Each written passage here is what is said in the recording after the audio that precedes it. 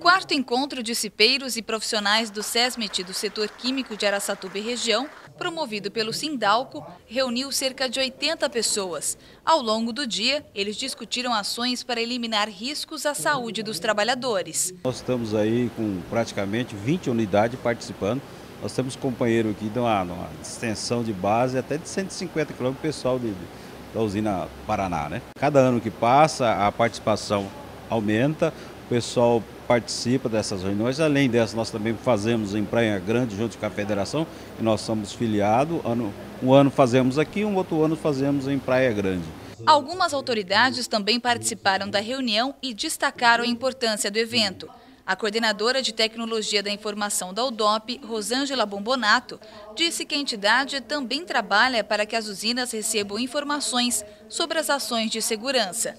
O presidente da Federação dos Trabalhadores das Indústrias Químicas e Farmacêuticas do Estado de São Paulo, Sérgio Luiz Leite, explicou que a FEQINFAR apoia o evento como forma de conscientizar o empregador e, assim, diminuir o número de acidentes. A iniciativa do sindicato aqui da região de Araçatuba, do Sindetanol, ela é extremamente importante, porque ela além de preocupar com o dia a dia do trabalhador, na questão salarial, ela preocupa também com a saúde do trabalhador, voltada principalmente para a prevenção de acidente de trabalho, que ainda, infelizmente, no Brasil e no nosso setor, nós temos índices ainda alarmantes ainda, muito grande de acidentes do trabalho, muito deles fatais. Entre os temas discutidos no encontro estavam a norma regulamentadora 13, sobre caldeiras, vasos de pressão e tubulações, números de acidentes de trabalho no setor químico e a necessidade de implantar um plano de ações de segurança nos ambientes de trabalho.